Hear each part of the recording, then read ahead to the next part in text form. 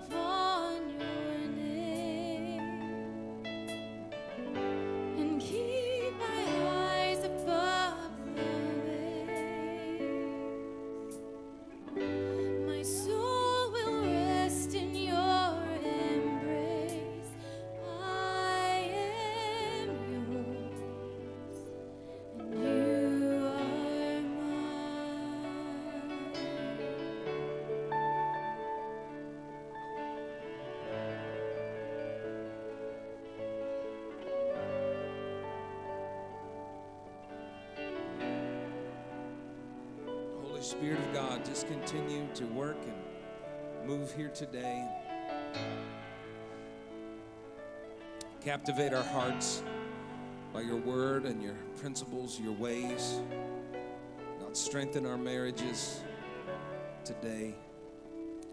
We thank you, Lord, for setting us free from the past, all the things that we brought into our relationships, all the things that have been established in our marriages, God, just giving us a fresh start, the faith and the courage to begin building again. Lord, on the foundation of your word. And we thank you for that now. In Jesus' name. Amen. You can be seated today.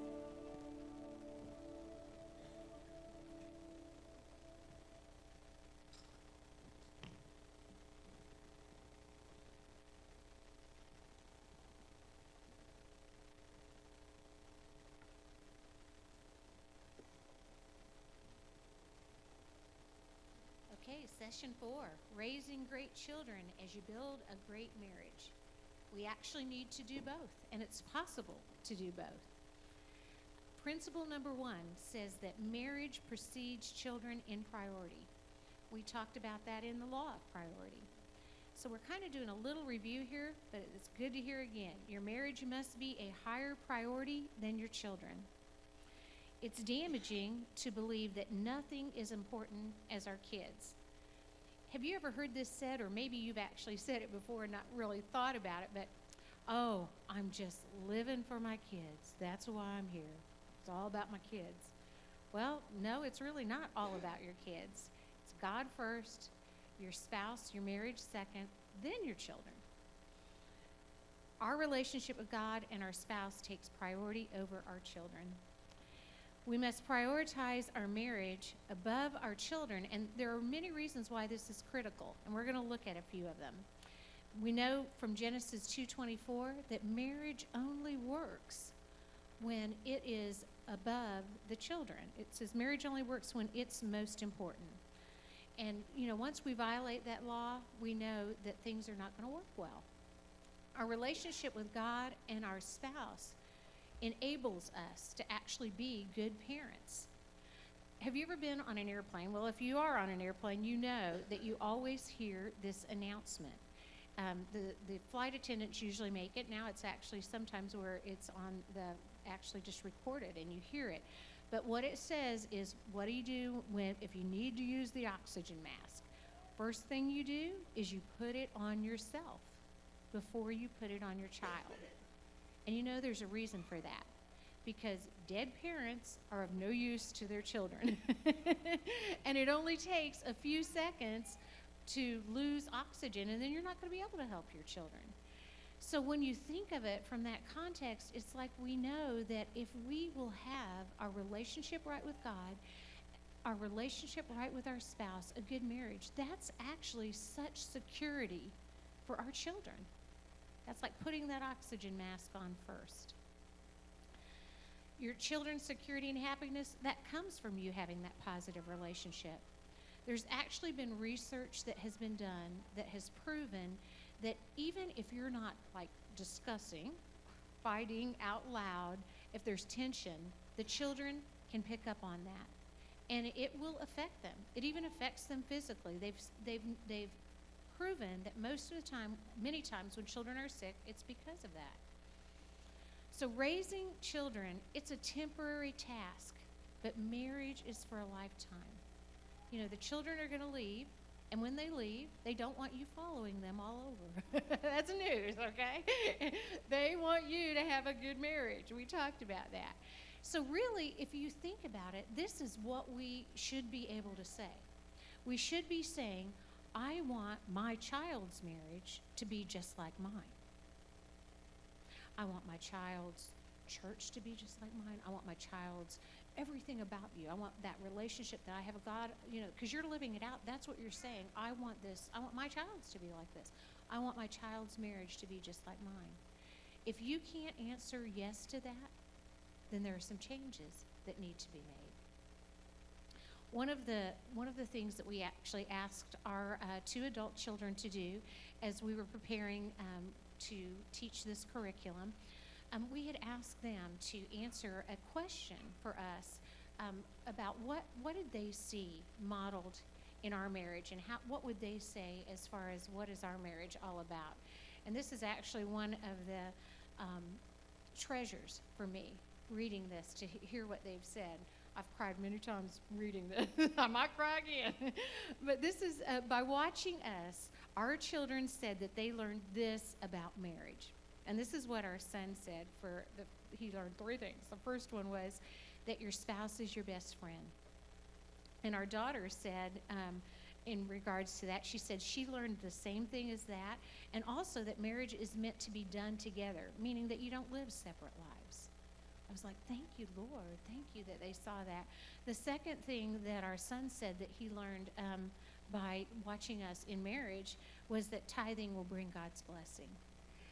And our daughter said the same thing, and she said she also learned that talking about major purchases beforehand and budgeting to make sure that you can, um, you know, have the resources to do that. Um, she said that that was a good thing that she learned. But okay, good, good money thing. and then the third thing that our son said he learned was that you need to get over conflict quickly, communicate, and move on. And our daughter said the same thing. And don't try, don't stay mad at each other. You know, just deal with the issue. And then the last thing that our daughter added to it was um, that she also learned that it's very important that you support your children and your grandchildren. And so I'm like, Lord, thank you. If, if, if you have helped us to pass that on to the next generation, then that's going to be passed on. You know, we talked about those iniquities, but guess what? Blessings are passed on for thousands of generations. So that is something that, that is very much a treasure in my heart. Okay, what we want to look at now is um, if you forsake the marriage for the sake of your children, what will it do? Not, not good things, but the first thing that, that it can do is it can send you into depression and, you know, when your children leave. Now, I'm not saying that it's not hard when, you know, you've spent all your years raising your children and then for me especially when our son left to go to college, you know, and he was 18, that was really hard. Um, again, it's not like you're not going to be sad about your children leaving. Now, now, I have to confess, my husband did not have as much difficulty with our son leaving. and, and, you know, it, I mean, he even had a, the, the deer talk with him. you can ask him what the deer talk is, but there's only one buck in a house. Let me just tell you that. he had to let him know that. And he was the dominant buck. So there you go. Um, so he didn't have as much trouble with him leaving. And when our when our daughter left, I was like, oh, that's fine. She knows. She's good. My husband cried. So there we go. But the, th- the fun thing is, you know, there's freedom in your house when your kids leave. I mean, you can do things that you couldn't do when they were there. So anyway, um, so don't let it send you into depression. Um, and then, you know, the second thing that we will forsake is uh, it will make you overly dependent upon your children and set you up for being a problem in-law. We talked, we just talked about that. If you are focusing on the children, then you're not focusing on your marriage and, and making that all that it can be. Uh, the third thing that we'll do is it will make your children overly dependent on you. We don't, we don't want our children to be overly dependent, and it will set them up for problems in their marriage. Again, who, who makes the decisions in the home? You know, as a, as a husband and a wife, you pray to God and ask what He wants you to do. And I'm not saying that you never ask your, your parents for input and your in laws. Of course, you can do that. And, and they have valuable things to share, I'm sure. But, you know, it really comes down to what are you hearing from God as a couple? Fourth, cre- it, it can create resentment within your spouse that grows over time. If you place anything out of priority, it's going to create that resentment. So how do, how do we establish and protect proper priorities? The first thing that we do is we establish healthy disciplines and traditions. Um, you don't have to call them a date night, but you can have times where just you and your spouse are together. And I know that that's not always easy when the children are young. You know, how do you do this? We're not talking about spending lots of money and going places. I mean, it might be as simple as um, you are going to know that at the end of the night, 30 minutes, you're going to go, you're going to pop some popcorn. That's a low cal little you know, treat. you're going to pop some popcorn and you're just going to sit down. And I know for women this sounds so good, and you're just going to talk for about 20 to 30 minutes. now, doesn't that sound like a good date night, ladies? the men, okay, it's okay. Once you talk to her, you just you just never know how she might warm up to you. So there you go. But we have these date nights. You know, schedule some family nights. Um, that's how you can establish these traditions as well one of the things that we have loved doing this summer, um, we said we, we had a pool in, in the home that we lived in before. We said we'd never put a pool in again. Then we moved and we were close to grandchildren. Guess what we have? We have a pool. Uh, but one of the fun things about that is um, there are some Sunday nights where we don't have services, and so we actually have time where we all are swimming together and Mimi, we get to go to Mimi and Papa's house and we, we grill out, and it's just a fun family time. But we try to do that one one night during the week so that we have those family times. And then also, I would encourage you. There, there. It's it's good to have sometimes where you could just get away, just get away as a couple. I mean, I know that that's not easy to have all that come about, you know, because we all have demands. But make that a priority. You have to you have to be intentional and you have to schedule it. Budget your time and energy in the same manner you would your money. This one has actually been more of a challenge for me because I'm like, okay, I want to get everything done, um, you know, even before our time comes at night, you know, pick up the house, do this, do that. No, because then sometimes if you do that, there's not going to be the energy left for your own, what's most important, your relationship. So let's make sure that we're budgeting our energy levels. Um, then protect higher priorities from lower ones. Spiritual priorities must be protected. Teach the teach our kids that God is important. You know, David and I, we both, um, that's what we do every morning. We get up and we have our devotions, and we go to separate places in our house. Um, we've kind of had a, a funny thing because I had I had an office in, in our other home had the doors closed, and, and I'm just this kind of person that I, I, I get distracted, and I also like to have a view. So thank you for this lake right here. This has been great these last couple of mornings. Um, but, you know, that's just who I am. And so in the home that we're in now, um, we have one office, and, and David uses that for business. So that's his office, and, and that's good. And so I kind of like, oh, this kitchen will be great. And I have the counter here, and I'll just, you know, have my time of praise music. And, and then he wants to come and eat his breakfast. So we we have had to work on this, and we, we have. We worked it out where he's like, when, when do you want me to eat? Which is terrible. I said, I'll sacrifice. No. But work it out. However, you have to work it out. Have your time alone with the Lord first thing. Because if you don't, then your spouse is going to say, Wow, did you pray this morning? and you're going to have to say, No, I didn't. So make sure that you have that. And then marriage priorities must be protected. That. Teach your kids that. These are two very important things that you have your time with the Lord and you have your time with your spouse. And then children are next.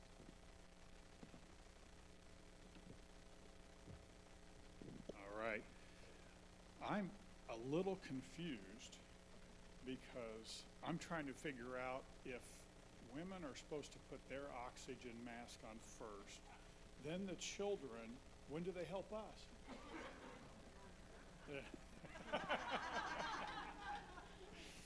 uh, seriously, just a little comment. The greatest gift that you can give your children, the absolute greatest gift, is a great marriage. Think about that. Principle number two unity is essential. Mark 3:25 and this is Jesus speaking says if a house is divided against itself that house cannot stand. Uh, in Genesis 11:6 it says, And the Lord said, Indeed, the people are one, and they all have one language. Now, nothing they propose to do will be withheld from them. Success is dependent upon unity, and failure is preceded by disunity. So, as parents, you have to be in unity. Somehow or another, I think there may be one mistake God made, tongue in cheek. He, he gave children an innate ability to figure out a way to divide mom and dad. I, I don't know how they get that, but they seem to know how to, to be able to try to create division between mom and dad.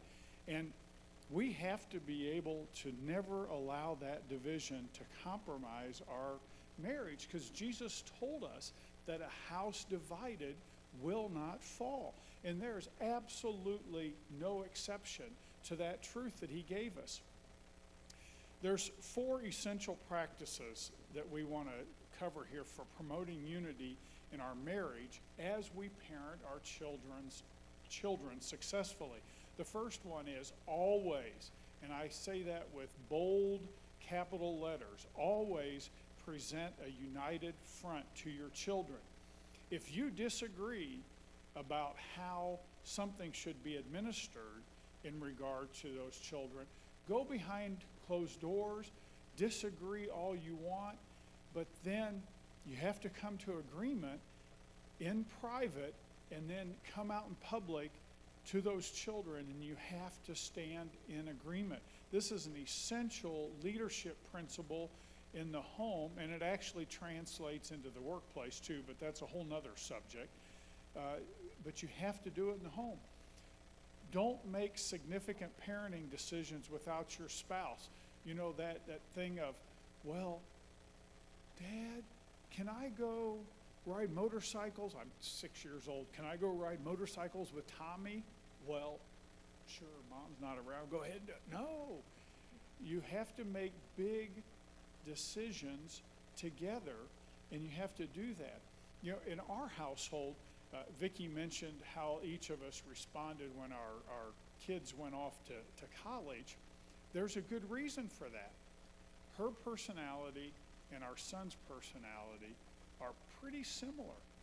Our daughter and myself, she got the really good genes. she and I are a lot alike. Okay, so we tend to, I tend to understand her perspective a little bit better, uh, and she tends to understand our son a little bit better. So as we would talk things through, we would learn the whole whole point of view, and we would make better decisions together about how to lead our children. And you always honor each other in front of your children and make sure that your children honor your spouse. You know, I mentioned that our son was a, a, a nose tackle when he played football. Now, he, he's, he's not real tall, he's about 5'11, but he, he was about 240, 250 pounds, and at his peak, he could bench press about 405 pounds. Okay? I wasn't going to beat him up. I, I might outrun him, but he was a big boy. And I remember one time when he was a, a senior in high school and he was beginning to get a little full of himself. And Vickie was talking to him about something, and he began to disrespect her. And I came in from the other room, and I got right up to him, and I looked at him, and I said, You may think it's okay to talk to your mother like that, but you will not talk to my wife like that. And he looked at me like, I think that's the same person. You know? And, you know, it, it broke, it kind of broke that spirit, at least for 24 hours, uh, where he understood where the line was. And you have to, you have to do that with one another. Uh, if you don't do that, you will destroy the unity. And unity means that what happens to you is happening to me because we're a team. So you do, to some extent, have to take it personal. Second uh, key practice is never allow a significant difference to develop in how you express love or you enforce punishment. I'll say that in another way. In other words, in punishment, Your children must not must know that you love and support them. You may feel like you want to kill them, but they shouldn't know that you feel like you want to kill them. So put the gun or the knife or whatever. You know, you don't want them to to know that. You want them to know you're upset, but you also want them to know that you love them. The you've heard the good cop, bad cop mentality, and you know, honestly, I was kind of taught that as a child. You know, I, I remember my mom giving me a, a spanking one time, and I did just this really dumb thing. I, I laughed because it didn't hurt. When dad got home, yeah, that wasn't good. Uh, good cop, bad cop doesn't work, and here's why. Because if, if you've learned that, uh, or you've even practiced it, I want to go through a few things real quick to tell you why it doesn't work.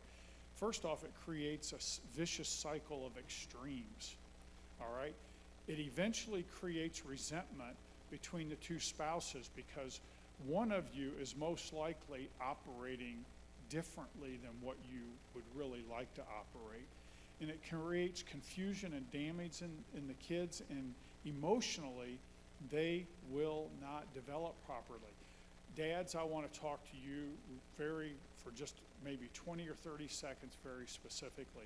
Your children need love and affection from you just as much as they do mom. Okay? I am so blessed because a man told me when my daughter, uh, our daughter, was uh, like in the third or fourth grade, he said, Dave, I want you to understand something. Your daughter needs the love and affection from a man, and she needs that from you, or she will eventually get that from another man. And I understood what he was saying to me.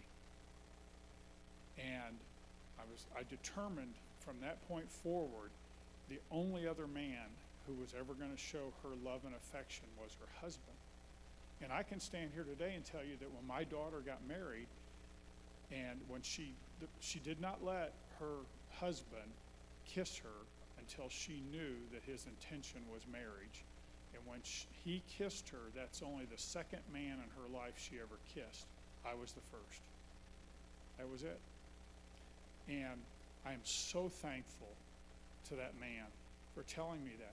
To this day, when we see our son, because he, he lives on the West Coast, so we only see him every few months, he knows the first thing dad's going to do is embrace him, and I'm going to give him a big kiss either on the cheek or on the forehead, depending on how he turns his head. He knows. He knows.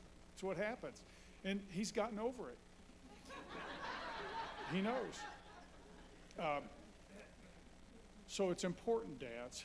The last thing is go outside your marriage for counseling and input when you reach an impasse. This actually is not a sign of weakness, it shows wisdom and strength. And decide ahead of time you're going to submit to that wise, godly counsel. Now, this was not a huge deal, but, I, but at the time, it was like monumental to me.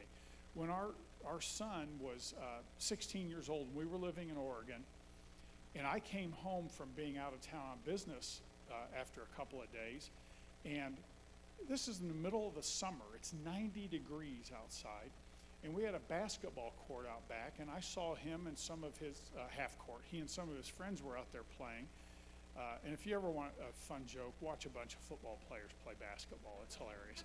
anyway, he's playing basketball with a ski cap on, and it's 90 degrees, and I'm like, what is wrong with this kid? Well, I was in the house all of two minutes, and our daughter, who was like in the fourth grade, I think at that time, she, hey, Dad, guess what? Jason's got a mohawk, you know? And I'm like, a mohawk. And so I went out and I said, why you got that hat on? He goes, well, I just wanted to wear a hat. I said, come on, take the hat off. He took, it was the ugliest looking mohawk you've ever seen in your life. I mean, there's some white guys that should not have mohawks, and he's, he's one of them.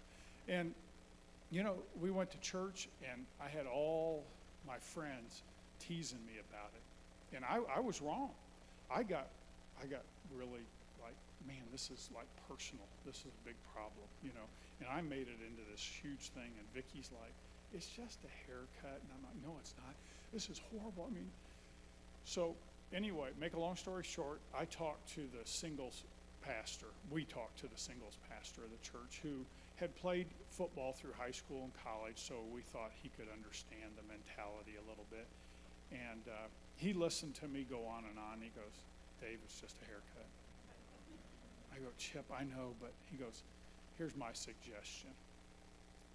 Tell him he can do anything with his hair that he wants to, as long as he doesn't carve anything obscene or immoral or that would contradict your faith in his head or whatever, or whatever's left of his hair. And uh, not in his skin, I mean, you know. And I'm like, oh man, okay. Okay, so I, I did that. The next day, he goes to school. He comes home, zip, the mohawk's gone. And then he, he grew it, grew, he realized he was getting made fun of for having no hair. And then he grew it out a little bit, put it into a marine cut, and if he were here today, he still has the same haircut now.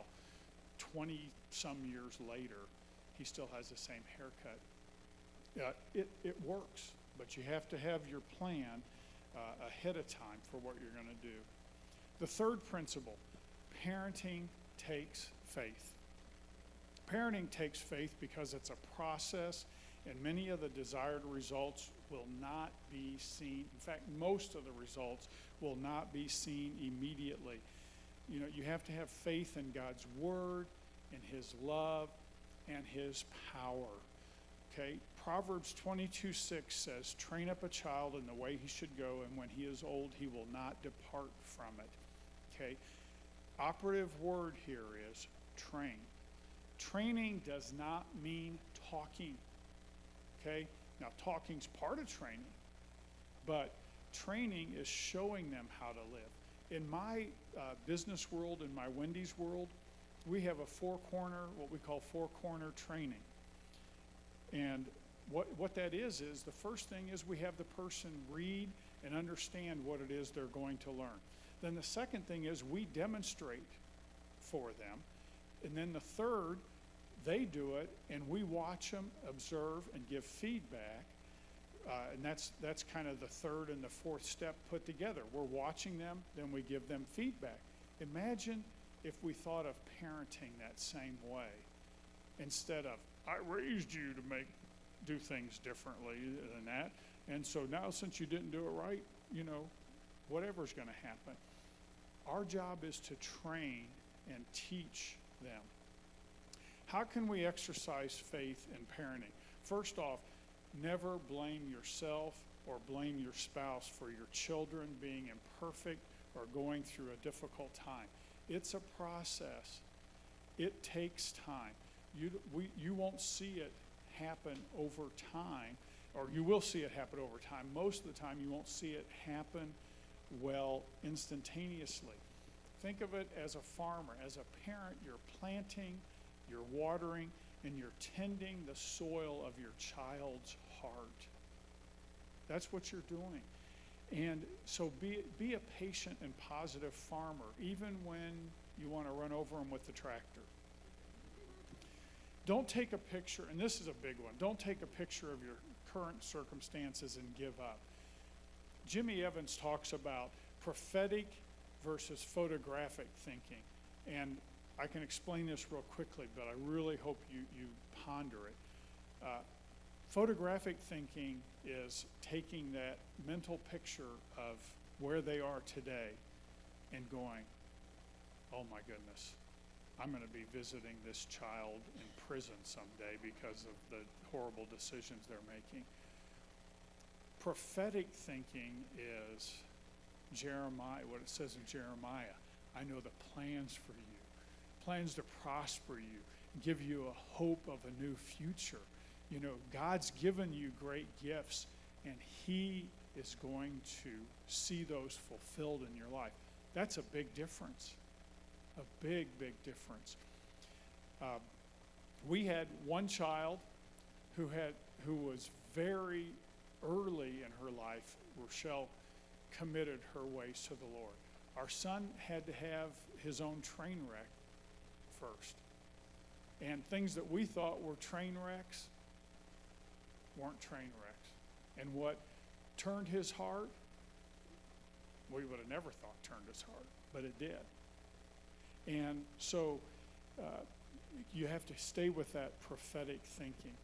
Do what God's word says. And you know what? My wife, I wish I could stand here and tell you that I had done this, but uh, I didn't. My wife did this. Early on, she decided that every Friday morning she was going to fast and pray for our children. This started when they were little. And pray for them and pray for their spouses.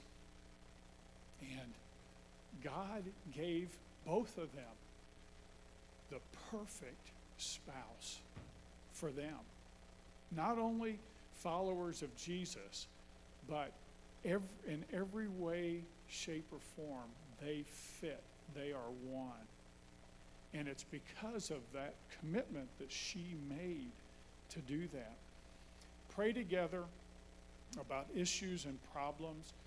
To, even to this day, Vickie and I, especially, I think it happens more with our son and daughter-in-law because we don't see them, you know, the, the, our daughter and her family, we see them multiple times a week, but our son and daughter-in-law, we see them every few months. When we leave, we talk about what do we see happening? How should we be praying for them? What what do we want what do we want to ask God to do in their life? I have on my cell phone a little file in this thing called Dropbox that I don't fully understand how it works, but I know how to use it. Where I have I've asked my kids, what do you want me to pray for you?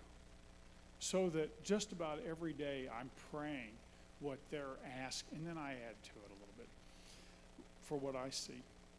You know, there's these three powerful principles can help us with marriage and so that we build our marriages, we give that greatest gift to our children of a great marriage, and we end up raising great children. Remember, marriage precedes children priority, unity is essential for success, and parenting takes faith. Now, as Vickie's coming up, and she's going to lead us in the last couple's prayer uh, before we close out. I, I, there's one other thing I, I want to mention to you. You know, we've talked yesterday and then again today about priorities our own relationship with Christ first, marriage second. You probably got it down by now. Children, church, okay?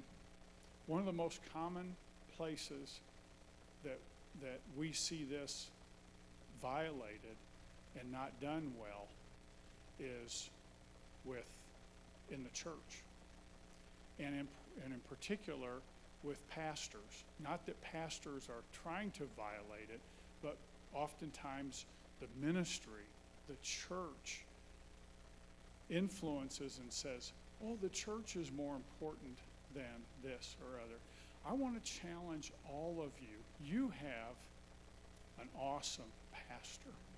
You have an awesome pastor. And he and Patty are absolutely wonderful, wonderful people. And they're a blessing from God. And I, we want to encourage you to not only pray that God enables you to keep those priorities, but that you pray for them that they are always keeping those priorities because God can do his best work here as all of us stay with the priorities and the four foundational laws of marriage. And one of the last things that I want to say too is um, I really felt impressed by the Holy Spirit to just mention, you know, I don't know um, where your children might be, but no matter where they are, they're not far from God. And as our son was struggling, um, the Lord he- heard our prayers, and we prayed. Second Corinthians chapter 10, it talks about how the, the weapons that we fight with are not man-made weapons. They're from God. and with these weapons, what he does is he takes a rebel's heart and he changes that heart into a man whose heart's desire is obedience to Christ. And as we prayed that, that's what we've seen occur in our own son's life. So no matter where your child might be, God can do an incredible, miraculous thing. Just, you know, commit to fasting and prayer. So let's go ahead and close with our couple's prayer. Take your hands and of your spouse. God, we thank you so much for our children. Relating to kids helps us understand how you relate and love us, God. Help us prioritize our marriage first and foremost in front of our children so that we can show them how to love their future spouse. God, we repent to each other and to you for when we have not been uni- united in front of our kids, God. Give us patience and faith to be the parents that you desire from us this day forward. Amen.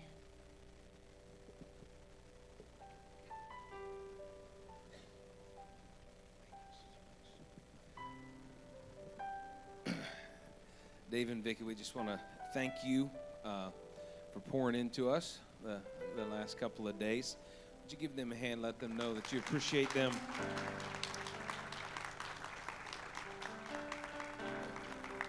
You both have just such a, a gentle, sweet spirit, but yet you're able to deliver some tough words that uh, wouldn't you like them to be your parents like if they if, if someone's going to rebuke you like i want them to rebuke me like totally opposite tomorrow i'll be screaming at you and i believe the lord sent you here because we, we, we need a dose of some honey that's it's good good good stuff and uh, you know if if we take what we've learned over the past couple of days uh, and, and if we just take this book and we just file it away like everything else, it's not going to do us much good. It's not going to do us much good. We have to be, the Bible says, don't be hearers only. James chapter 1, you can't just be a hearer of God's word. You got to be a doer of it. Otherwise, we just deceive ourselves in thinking, hey, I did. I made an investment in, in my marriage. No, not unless you're going to work it out and walk it out and do something with it. See, I'm, I, I just can't be nice. but we do thank you guys. They, they dro- it's, it's almost 600 miles or something like that they drove to be with us and, and spend a couple days with us. So we appreciate you very, very much. Um, so we're, we're going to dismiss, but if we have anyone who, um, uh, we didn't get a lot of questions, and, and I know, uh, you know, sometimes it's weird because if you ask a question, it's, it's oftentimes you're asking a question of what you want your spouse to hear, and uh, and so that gets that gets a little uh, odd. And then you don't want to ask a question because you'll think everyone will know it's me. Uh, so we probably should have done something anonymously online or something like that. But if you do have some questions, you can talk to them afterwards. We don't want to keep them all day because they've got to get on the road. They're going to drive back to be at their church tomorrow morning uh, in Kentucky, so it'll be a long day from them or for them. But uh, if you do have a prayer need today and you'd like them to, to pray with you. Uh, Brandon's going to play a little bit on the piano, and uh, and uh, we'll be dismissed. But if you got a prayer need, I want you to make sure that you come up. Okay? Let's all pray together, and then we'll be dismissed. Father, we thank you so much for these last couple of days. I uh, I, I know I have learned so much, and I believe those who are here uh, have too. Uh, God, of things that we can do, uh, hiding your word in our heart uh, that we might not sin against you or sin against our spouse. And God, just to build on the foundation of your word that we can have great marriages. We believe that, God, and raise great kids and be great uh, in laws and grandparents, Father. And it's never too late to change. I thank you for the message of hope we have heard. We can change right now, we can start right now. We give you praise and thanks for that.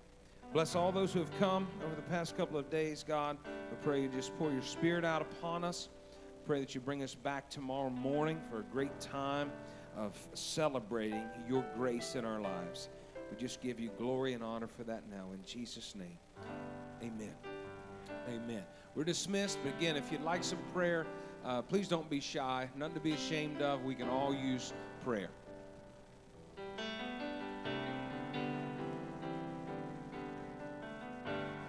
God with us and God for